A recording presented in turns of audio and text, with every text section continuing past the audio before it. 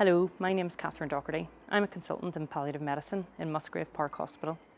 There are seven other palliative medicine consultants across the four hospital sites in the Belfast Trust, the others being Belfast City Hospital, Mater Hospital and the Royal Victoria Hospital. We work in a team alongside specialist palliative nurses and pharmacists and aim to provide support and care for people who are dying in hospital and at home. We work alongside our other hospital colleagues to deliver excellent care at the end of life through a holistic approach.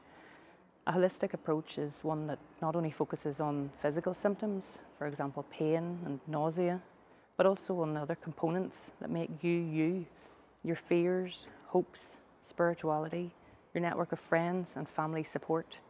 We recognise how all of these pieces play such an important role in ensuring comfort and dignity in the dying process. The palliative care team aim to help prepare and accompany a family and patient at their most difficult time to ensure they feel supported, safe and looked after, to ensure ultimately that they are in a good place. Thank you for taking the time to listen to this video and for doing your part in raising awareness of the importance of good palliative care when someone is dying.